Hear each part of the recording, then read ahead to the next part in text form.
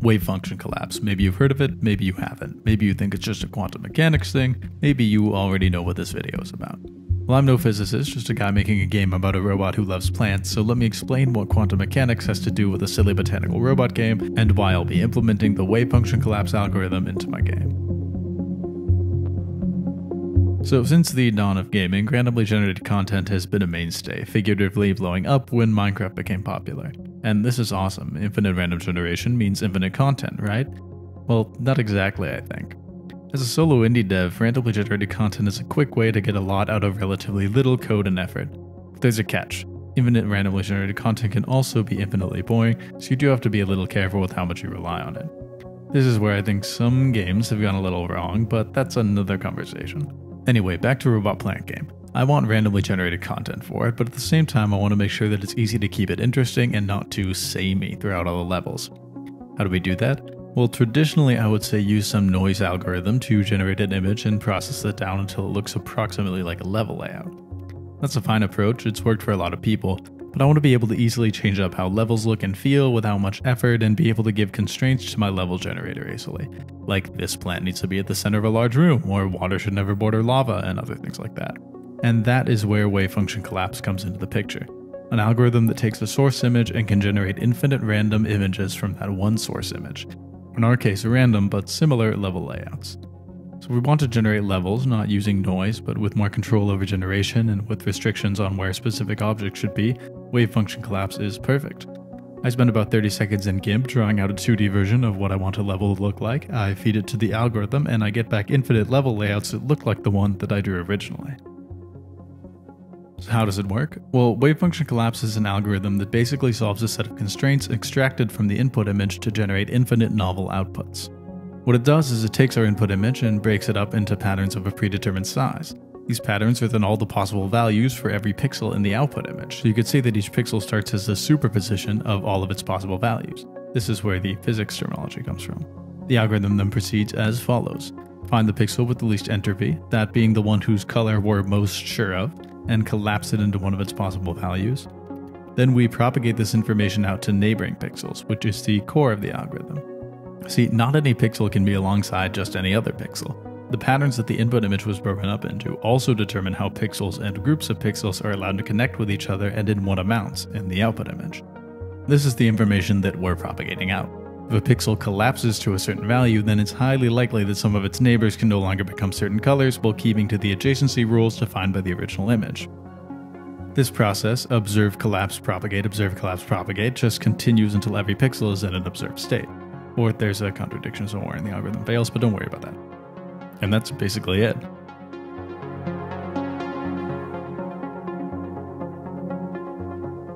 And as an aside, which isn't really relevant to our level generation, the algorithm doesn't even need to work directly with pixels. I'll link a demo tool in the description which has a model of wave function collapse that works on tiles made by Oskar Stålberg you can play around with to get a better understanding of how things work.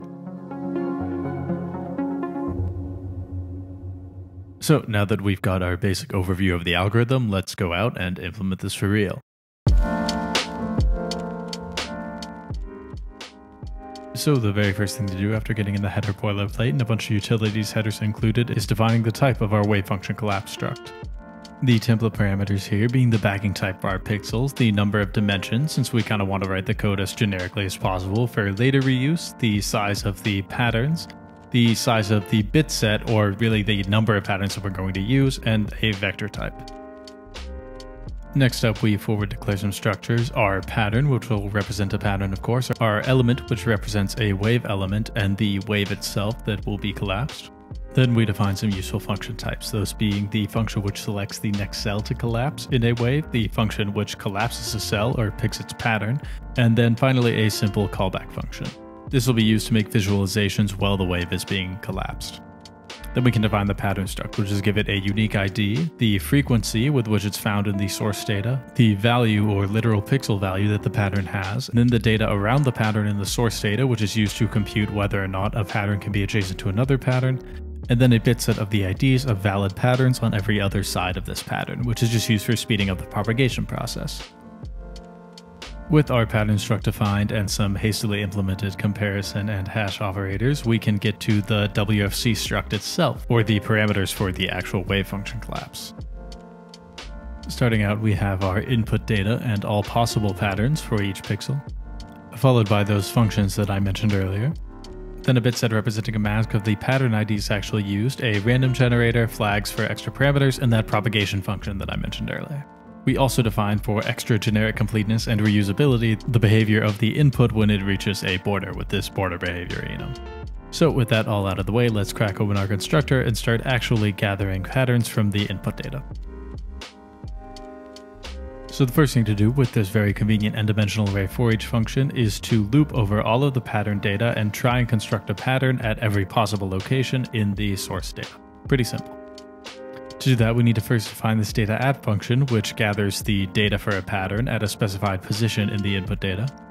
But first, fixing a quick design mistake and replacing this make pattern function with an actual constructor for the pattern structure, like there should have been before I started recording this. Then we define the data add function, which gathers data, of course, according to that border behavior parameter.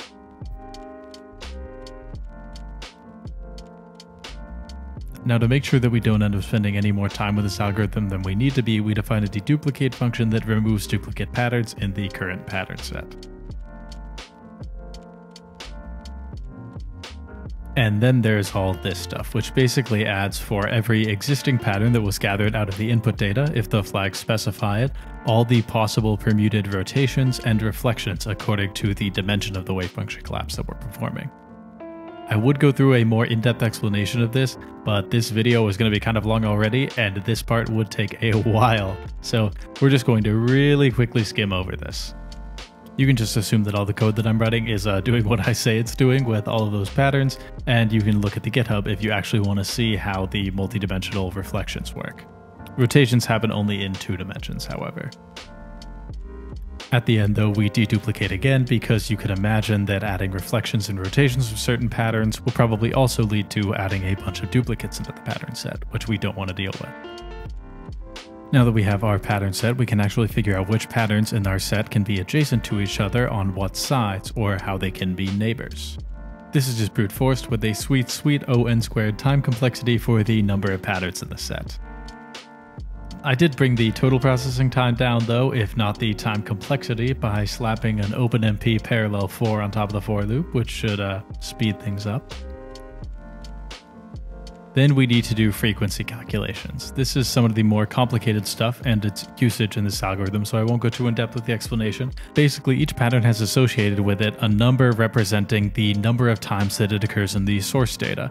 This is how we ensure later on in the algorithm, when we're selecting which pattern to collapse different wave elements to, that we end up with approximately the same ratio of patterns in the output data that we got in the source data. All that info and the processing around it is contained within this one frequency number on each pattern. After creating that mask of which patterns are actually going to be used out of our whole bit set, we can actually initialize and start to generate and collapse a wave.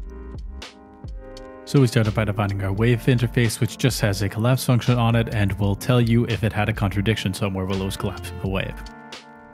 Then we can go on to define our wave struct, which includes all of the WFC parameters, the size of the output wave, the vector of elements that will make up the wave while we're collapsing it, optional preset data, and the total number of elements that have been collapsed.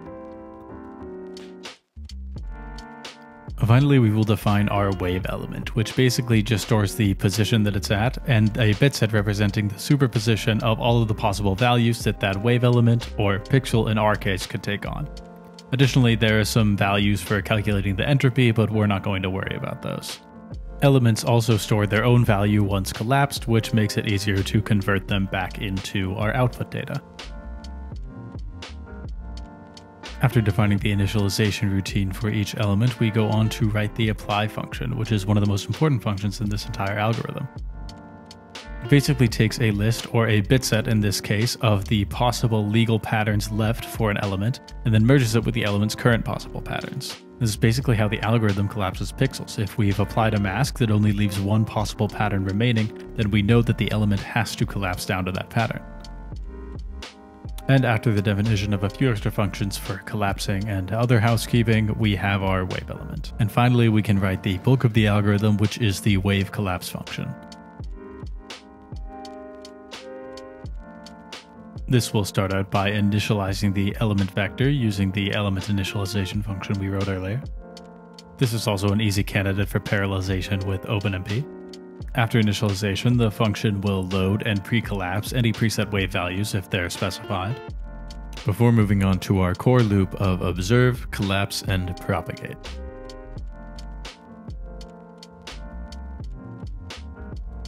The first function to define here being the observe function. It's pretty simple. All it does is it takes an element according to the next cell function that we gave the wave function collapse, and then it collapses it using the pattern function that we gave the wave function collapse. That's what selects which pattern that is going to collapse to if there are multiple options. And finally, we have, last but not least, the single most important function in the algorithm, the propagation, which takes the changed value of a wave element and propagates it throughout the rest of the wave, telling each element's neighboring elements how its superposition needs to be updated according to the value of the element being propagated. This is done through constructing what I've come to call super patterns, which is a superposition of all the possible patterns and their values around each element that an element could still take on according to its superposition, and then applying that out to each neighboring element of the wave element whose value is being propagated. In the process, if there remains only one possible value that an element can take on, then it's also collapsed to that value and propagated out accordingly. And well, that's uh that's basically it. We start by propagating the collapsed element, we find its neighbors, we construct its super patterns, then we apply them out to neighboring elements. If those elements' superpositions change, then we propagate those elements as well until there's nothing left to change. Collapsing elements in the process, of course. The final thing to do though once the wave is collapsed is to take all of the values out of the collapsed wave elements and write them back into the output image. Add in the pattern selection and next cell selection functions really quickly, and then we have our entire wave function collapse algorithm ready to go. This is obviously not the first time that I wrote this code, and this is kind of a carbon copy of what I have existing in my codebase. So on top of that, for the specific purposes of this video and because it looks cool, I used SDL to make a really quick visualizer which created those visualizations that you saw earlier in the video. This is where that propagation callback from earlier came in handy, for those of you wondering. So with the whole algorithm implemented and working, you're probably wondering how does this actually look in practice as a level generator? Well, I really quickly drew this sample level map, so let's slap that into our new souped up level generator, including wave function collapse, and see how it looks. Well, it looks about like we took one of those images that we generated and then we applied it very roughly to the level generator. Nothing different than what we expected, but this level generator will really shine when there are actually more restrictions that need to be introduced from different gameplay elements and more different types of levels. Basically a good jumping off point for us with a cool algorithm behind it, a different approach to some random levels. Wave function collapse and level generation implemented, it's also been about two months since I last posted a video about the game, so let's go through a quick lightning round for everything else that's changed since my last video. First change, as you saw in the level generation demo, is the tiles which are blocking the player are now turned transparent. This is just to make sure that the player can always be seen even if they go behind a wall.